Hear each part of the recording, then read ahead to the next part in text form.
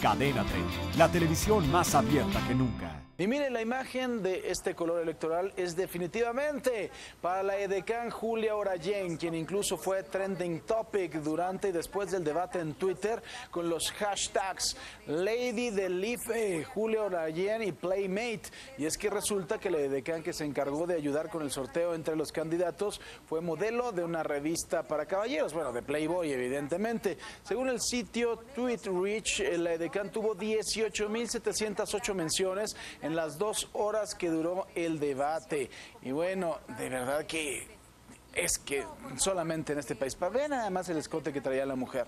No estamos diciendo que no sea guapa, no estamos diciendo que una mujer no se puede vestir así, pero no cree usted que es total y absolutamente inadecuado. Y vea, ve, no sé si alcanza a ver al señor Cuadri. ¡Ay!